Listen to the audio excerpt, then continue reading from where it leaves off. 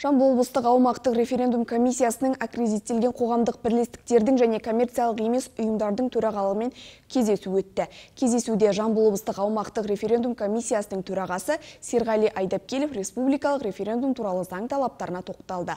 Заңның 6 бабының 4 тармағына сәйкес референдум өткізу кезінде аккредиттелген қоғамдық бірлестіктердің коммерциялық емес ұйымдардың атынан өкілдік ететін Қазақстан Республикасының азаматтары, сондай-ақ шет мемлекеттерден және халықаралық ұйымдардан аккредиттелген байқаушылар, шетелдік бұқаралық ақпарат құралдарының өкілдері қатыса алады.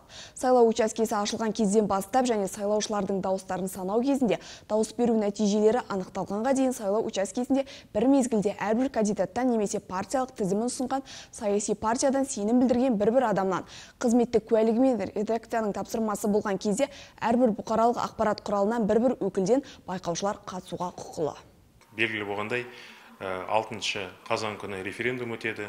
Сол жерде енді міндетті түрде үш тарап қатысады десек те болады. Біріншіден сайлау комиссиялары екіншіден сайлаушылардың өздері дауыс беретін үшіншіден байқаушылар болады.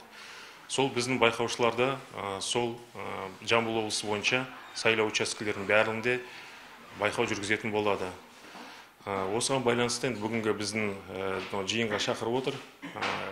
Референдум сайлау комиссияларының мүшелері бұл жерде енді аккредитацияны өткен қоғамдық бірлестіктермен таныстыру және де мынау биылғы өтетін мынау референдумның қандай ерекшеліктері бар екенін қаншама сайлау участок бар екенін жалпы осындай мәліметтерді ресми түрде бізге айтып және де бізбен танысып және біздің жұмыстарымызбен кішкене сол туралы анықтап қандай да бір түсінбеген жерлер болса мен ойымша сол үшін жиналып отырмыз.